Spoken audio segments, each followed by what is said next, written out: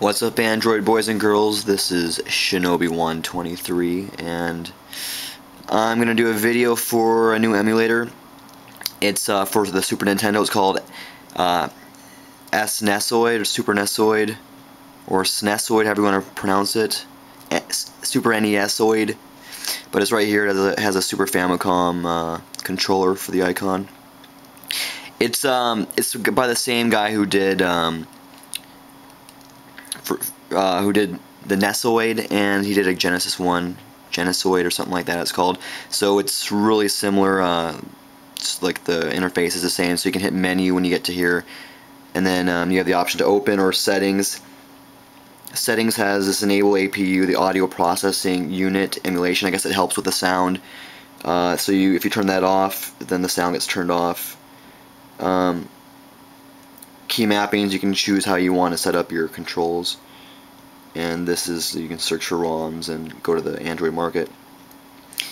Um, right now the keys are up, down, left, right is up, down, left, right, 1, A, Q, and W, and then you can set up, down, you can set like the diagonal positions if you want.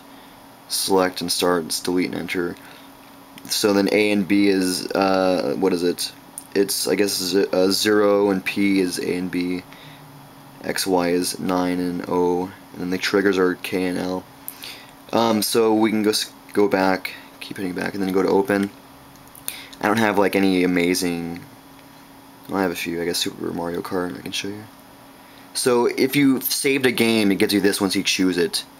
Um, so yeah, I'll just hit restore game, or you can hit start new game, but I'll hit restore game.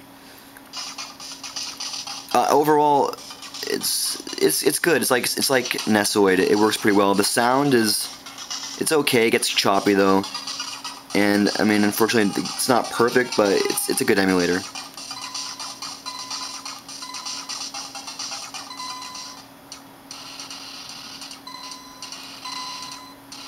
Once the gameplay starts, I think the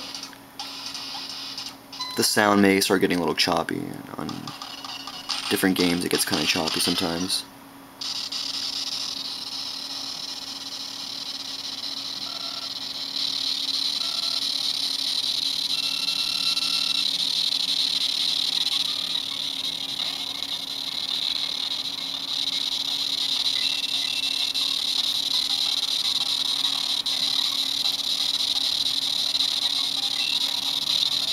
But yeah, you can hear, I mean, I guess it sounds pretty good, but you hear this, the kind of fuzz almost taking over the sound, just kind of taking over the background, uh, background music.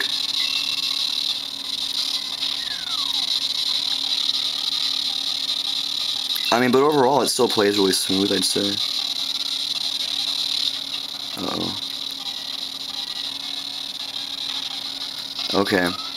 So you can hit back if you want, and that way you can uh, you can quit and save if you want, or I'll just hit back and go back to the game. I'll show you, if you hit menu, you have save if you want to save the game, or if you already have a game saved, you can hit load and go back to where you saved it. You can go to settings, reset, close.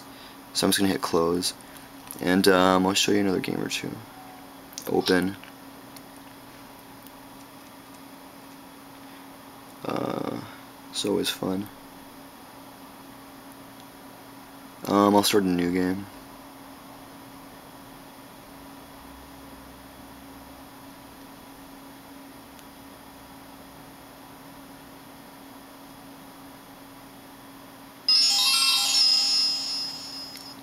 But again, again, the same thing. The screen, like Nesoid, this screen is kind of stretched a little bit to fit to the uh, G1 screen. But I mean, you don't really notice it. It looks fine.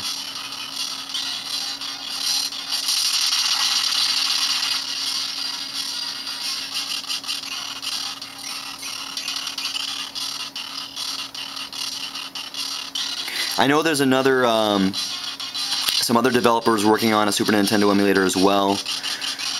Uh, I don't know what they're calling it, I forgot now, but so it'll, it'll be interesting. They're supposed to be releasing it in June as well. So who knows, you may see it very soon in the market. But yeah, it'll be interesting to see what the difference is, you know, what's, if this one's better than the other.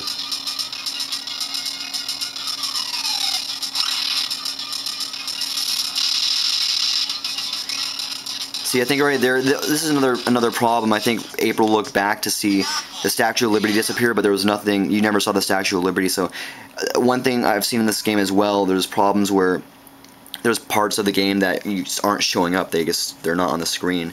And actually, I got to the end of this game and I couldn't. I just couldn't beat it because I don't know what's going on. Like they're whatever I need to be doing with Shredder is not on the screen.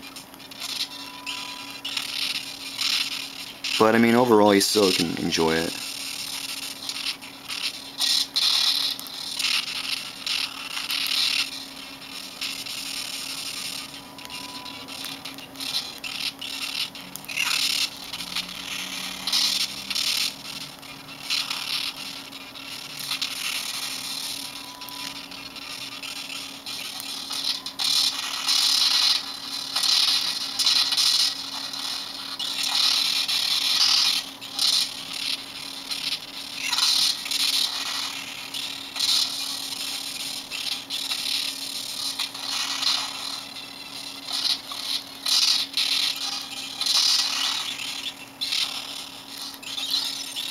So yeah, there it is. Uh, all the games I've tried have worked worked well. So um, I do recommend it. You can get it in the market. I think it's $2.99. The developer is Yong ZH. I think Y O N G Z H. Or just look for S N E S. Actually, see, I have had this weird problem sometimes where seems like it's not. I'm pushing a button, but it's not going. But it's like few and far between. I don't know if I'm doing something wrong or what, but again, like I said, I mean, it, it does work decently. It's I recommend it. So check it out, S Nesoid, and uh, this is Shinobi 123. Subscribe, rate, and comment later.